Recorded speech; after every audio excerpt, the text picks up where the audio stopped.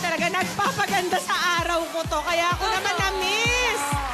Kayo, kayo, kayo, kayo. Anong nagpapaganda sa mga araw ninyo? Let me, ay, ito alam ko na. Ikaw. Eh, syempre si Mama.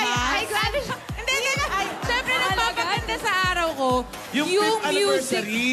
Uy. Ay, grabe siya. Fifth monthsary. Teka Si muna, bukod doon, syempre, happy monthsary, Mahal. Ayan. Bukod doon, yung music hero, dahil bukod sa si Blaster ay tutugtugan tayo mamaya, meron tayong dalawang electric guitar heroes na magtutunggali. I miss this din. Yung mga magagaling natin, mga baget. Yes. Ikaw, Alan, Alan, ikaw. Ano nagpapaganda sa Siyempre, araw yung mo, Mama Alan? Lola's Playlist. Uy. Ah.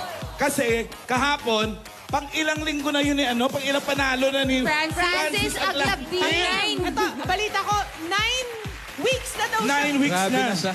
Ang problema ko nga, paano kayo matatalo tong batang to? Grabe siya. Ikaw ang tatalo ba? Ikaw yan. Ha? Hindi, si Baste. What you gonna do with that dessert?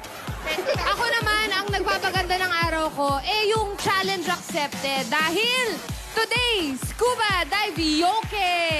Ito lang, yun, ang kantahang may plus pa na scuba diving. Oh, sige, Ang ako.